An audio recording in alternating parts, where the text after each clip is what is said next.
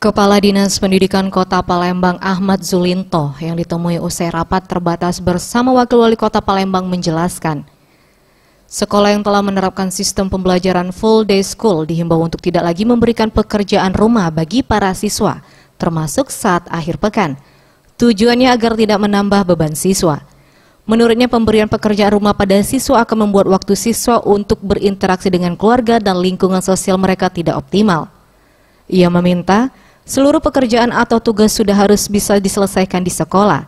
Saat siswa kembali ke rumah, maka mereka bisa berinteraksi secara maksimal dengan keluarga dan lingkungan mereka.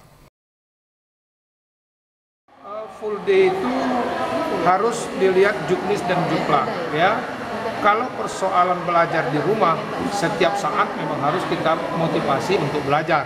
Tidak ada anak-anak harus karena full day jangan belajar, tapi jangan dibebani oleh sekolah lagi kalaupun dia akan memperkaya dirinya karena di dalam proses belajar itu ada pengayaan, ada remedial kan begitu.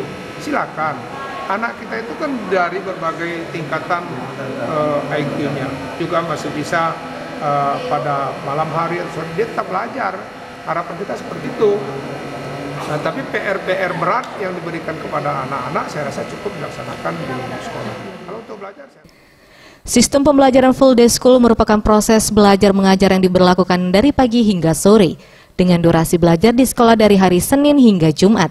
Sementara hari Sabtu dan Minggu siswa diliburkan. Tim Liputan Sriwijaya TV